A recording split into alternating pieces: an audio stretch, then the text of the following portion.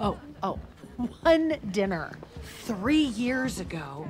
We thrive as frenemies, however. We're friends. Why, why do I have to be your enemy? You owe me some very short cookies. Don't just admit it, okay? You miss me. You know what? First of all, it's gross to talk with your mouth full.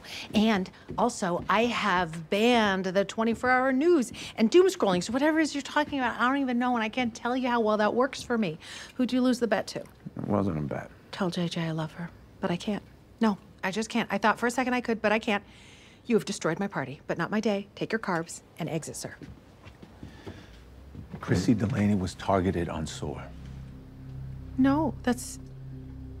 That's impossible. Luke Soar is unhackable. I know I'm the one that secured it. No, no, I'm not doing this. I'm not doing this. She doesn't use any other social media platforms. One time. One time. Once. Deal.